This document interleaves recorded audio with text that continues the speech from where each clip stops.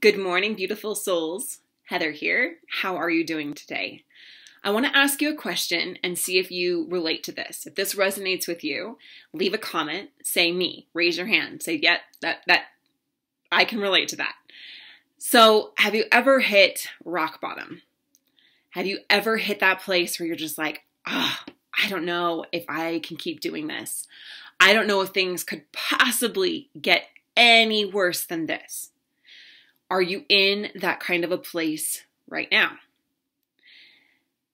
I want to share with you four years ago when I hit rock bottom.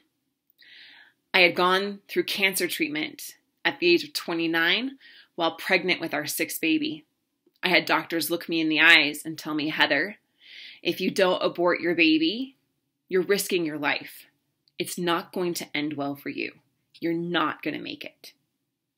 Well, I proved them wrong and here I was with this beautiful new baby, but still in the fight for my life. I had to go through chemotherapy and radiation. In the process, my husband and I, we lost our home. We lost our business. We moved up to his parents' land.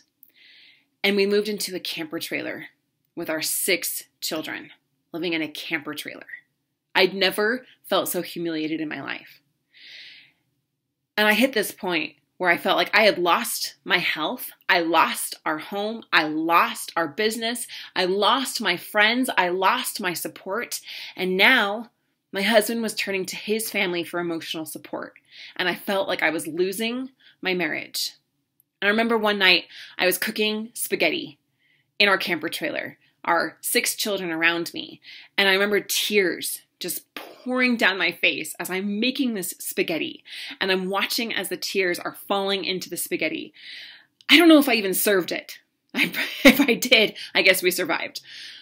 And I just remember thinking, I can't do this anymore. If I lose my marriage, if I lose my my husband, I have nothing left. I've already lost everything.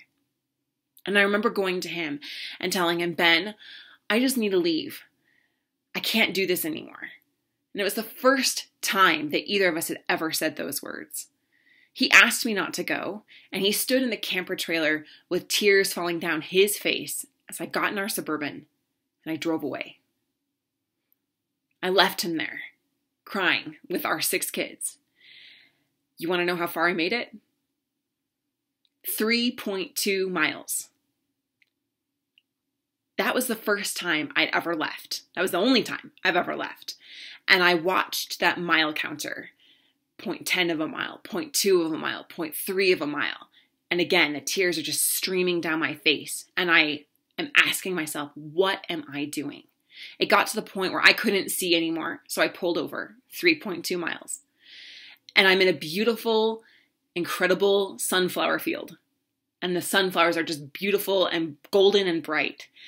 And it was such a contrast to the darkness that I felt inside myself.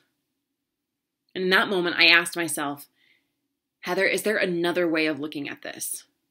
I realized in that moment that if I left, if I left this marriage, if I left him, that that darkness that was in me, it would stay with me no matter where I went and with whomever I went with. Because that story that I wasn't good enough was what was creating that chaos in my life, was creating that pain. And I realized in that moment that that limiting belief what was was creating all of that circumstance.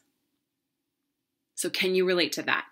What is the limiting story that is holding you back? That is holding you in pain. When you can release that story, that is when you can find healing and ultimate happiness in your life.